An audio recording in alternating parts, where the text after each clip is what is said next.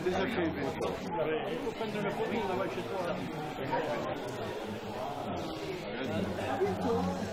Voilà.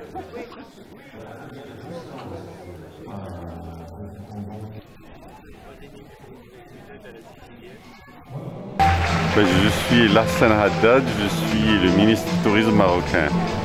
Alors, qu'êtes venu vous faire à Sauveterre de Rouergue On est venu là pour euh, déjeuner dans un beau restaurant ici à Sauveterre et également nous sommes en train de visiter euh, cette belle ville, cette ville médiévale avec beaucoup d'atouts.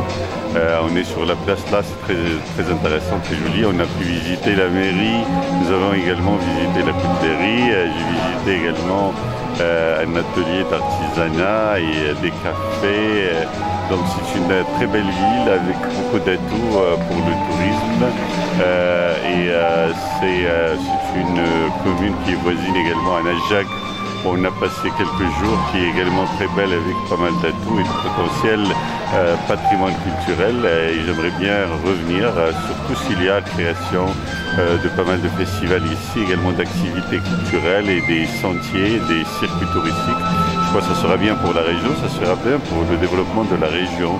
Et je suis agréablement surpris qu'il y ait des Marocains ici qui sont intégrés, qui font du bon travail en artisanat. Il y a également le, le tuya marocain qui est utilisé dans la coutellerie pour faire du couteau. Il y a également un couple mix français-marocain qui a ce joli bar où on a été. Et également, on a été réellement surpris par la qualité de, nourriture dans le restaurant étoilé euh, Michelin ici dans la ville.